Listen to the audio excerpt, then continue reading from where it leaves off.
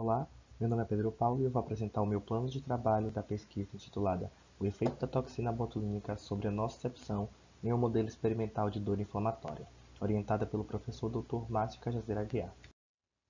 De acordo com a nova classificação da IASP, a dor é considerada uma experiência sensitiva e emocional desagradável, associada ou semelhante àquela associada a uma lesão real ou potencial, onde essa dor nos músculos faciais, principalmente nos músculos da mastigação, se dá através de um desequilíbrio do sistema estomatognático, que, quando crônica, a dor pode ser modulada por fatores psicológicos. Devido aos seus aspectos multifatorial, terapias interdisciplinares são indicadas.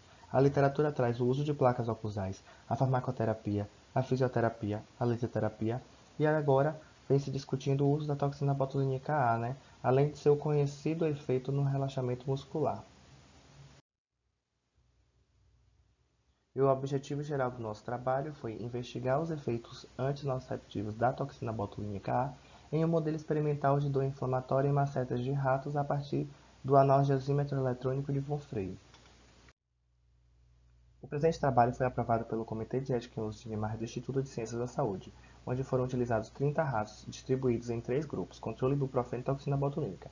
Dentro de cada grupo, houveram dois subgrupos, soro fisiológico e carraginina. A indução da dor inflamatória foi realizada através da injeção de 100 microlitros da solução de 2% de carraginina lambda nos matéteres direitos ratos do grupo 2, 4 e 6. A aplicação da toxina botulínica se deu a partir da injeção intramuscular única cinco dias antes da indução da inflamação nos grupos 5 e 6. No canto superior direito é possível perceber o ponto de infiltração.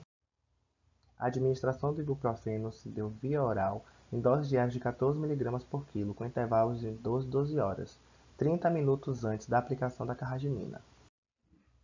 A avaliação da resposta antinociceptiva se deu a partir do analgesímetro eletrônico de Von Frey, onde sua ponta metálica foi revestida com uma capa plástica.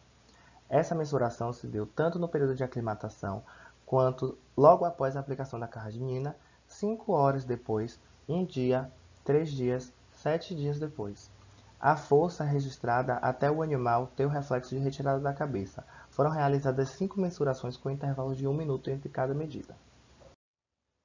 A análise estatística foi realizada com o auxílio do programa SPSS para Windows. As análises de variação intergrupo foram determinadas com o teste não paramétrico de Corso-Wallace. O teste de Mann-Whitney foi empregado para comparar separadamente dois grupos independentes. As diferenças dentro do mesmo grupo foram analisadas com o teste de Wilcoxon.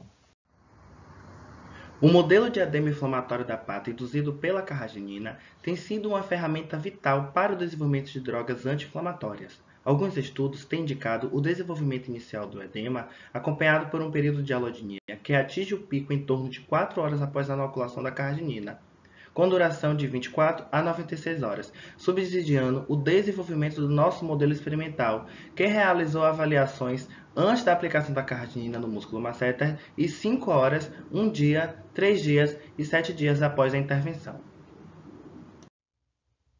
Comparando os grupos 2 e 6, é possível perceber uma diminuição no limiar no período de 5 horas, tendo o limiar da, do grupo 6 subindo no período de um dia e se mantendo constante e significante até o último dia.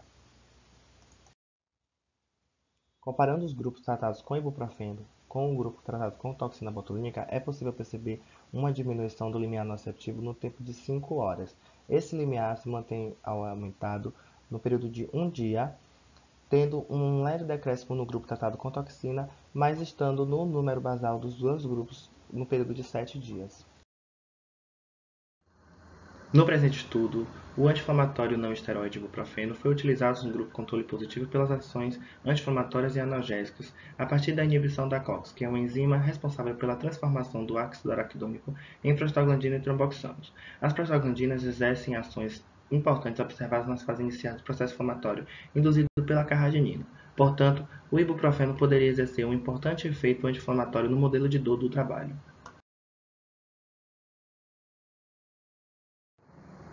A toxina botulínica aumentou o limiar nociceptivo nos espécimes tratados com carraginina, apresentando resultados similares aos observados em animais tratados com ibuprofeno.